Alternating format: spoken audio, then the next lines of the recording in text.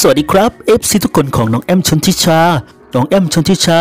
นอกจากจะมีน้ำเสียงที่ไพเราะเป็นเอกลักษณ์แล้วนะครับ และยังมีอีกอย่างที่คุณผู้ชม อาจจะไม่เคยเห็นน้องแอมฟ้อนรำมาก่อนนะครับ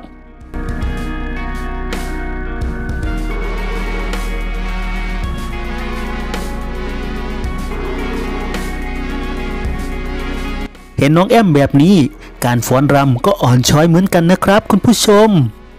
ทางช่องของเราจะมีคลิปบางส่วนมาฝากคุณผู้ชมนะครับ ไปชมกันเลยนะครับ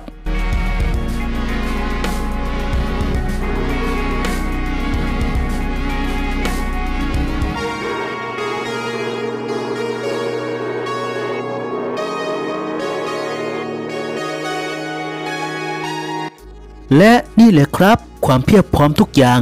ในการเป็นศิลปิน ที่น้องแอมได้โชว์ความสามารถให้คุณผู้ชมได้ชมกันนะครับ